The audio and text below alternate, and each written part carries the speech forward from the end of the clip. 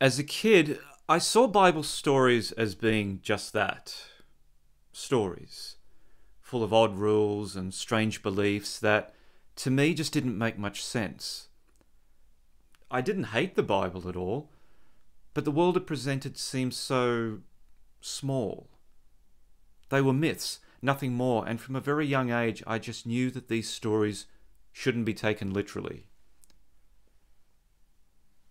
The world, to me, was quantifiable. It could be studied and understood without having to resort to supernatural explanations. I didn't want my world to be about the supernatural with slavish devotion to an unseen magical deity. Science proved that the world operates via natural processes and slow, gradual change and adaptation. And as a kid, that made sense to me. Gradually, I realized that all the gods we've ever known are just creations of people. And with so many gods to choose from, how could any one of them be the right one? And if there's a right God, does it mean that there's a right flavour, and a right colour, and a right kind of music, and a right kind of love? Human experience teaches us that life is subjective. What is right for you may not be right for someone else religion deals in absolutes, and as I look around, I see the suffering that attitude causes. I see the walls it puts up in people's lives, how it suppresses women, limits artistic expression and human potential, how it persecutes individuality and stifles innovation. Warlocks are enemies of God. And I don't care what kind of hero they are. They're an enemy of God. And had it been in the Old Testament, Harry Potter would have been put to death.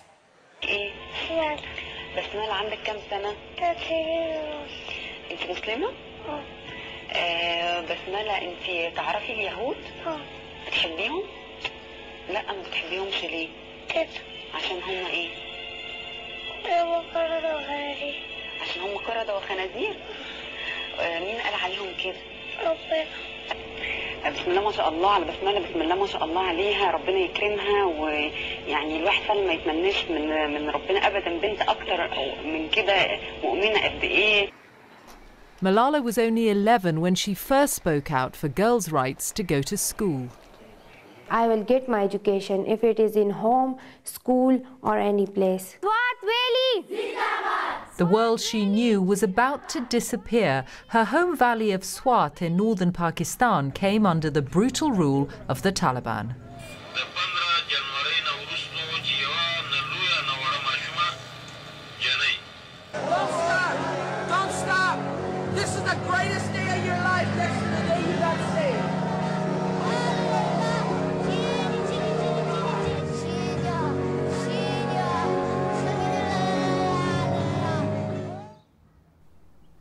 Now, the religiously devout challenge me to see God's handiwork in everything.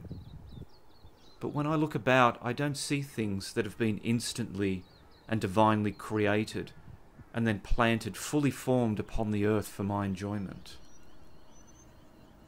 I instead take greater comfort from knowing that the earth and the universe have changed and grown and evolved over billions of years, and that in some tiny way, I'm a part of that ongoing process.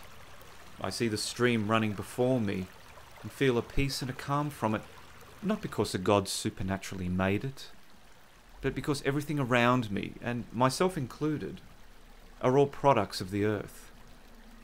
Everything is connected, everything influences everything else. How many eons has this stream flowed here? How many more will it? Over time, the landscape will change and the stream will find another course. Eventually, it'll stop flowing altogether. But it's here now, as am I. How many millions of years did it take for this flower and for the bee that collects its pollen to turn out the way they have? Well, science can and does tell us the answers. But this, of course, isn't the end result of that evolutionary sequence millions of years from now, these species may be extinct, or they may have evolved into different species. And I love that. And it makes perfect sense that the world goes on and keeps growing and adapting and evolving. The earth doesn't need divine inspiration, and it doesn't need human intervention. It gets by just fine without either of those. I love atheism because it liberates us from religious dogma, free of ancient, outdated traditions that hinder progress, society, and equality. Freedom is a precious thing, the freedom to think for yourself and to find your own path. This isn't in deliberate opposition to God. Atheists aren't on a quest to deny God. And this is because we just don't believe in God or any gods, just as we don't believe in unicorns. I love atheism because it looks to our fellow man and woman for guidance. But not only that, to our own intuition and common sense. And you know what? I think it's wonderful that us humans make mistakes. We aren't perfect and we never will be. We are gloriously imperfect beings, and yet we strive to better ourselves and our understanding of the world we live in. For me, that is the meaning of life to learn and grow and understand, to do good and to leave some kind of positive legacy. I love atheism because we make today the most important day, instead of waiting for some divine reward at the end of our lives. Live now. Be happy now. Make now the most important moment. Atheists know this, and they take great comfort from it. So go on. Give it a try.